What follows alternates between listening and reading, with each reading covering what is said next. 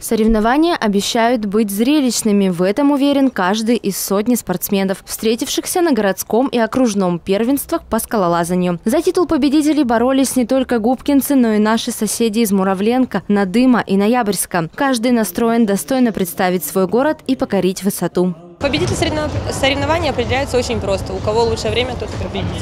Соревнования по трудности проходят э, с нижней страховкой. Они будут проходить в той части зала, в той части скалодрома. Э, кто выше долезает, у того выше результат.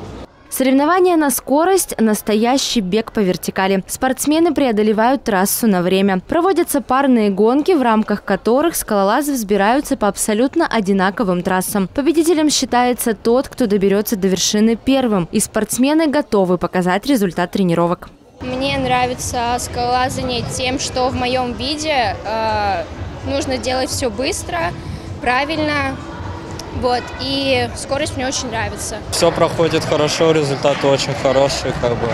Трассы хорошие, не скользкие, как бы, все нравится. Самое главное это тренироваться много и также психологически быть готовым, потому что в скорости может любое произойти. Допустим, ты быстро бежишь, там у тебя нога или рука слетела, и тебе нужно быстро восстановиться и добежать. То есть, как бы, психологически надо быть готовым.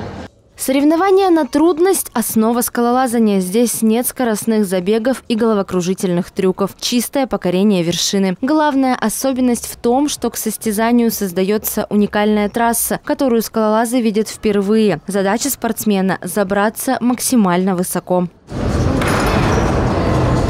Свое выступление завершил Балтычков Александр.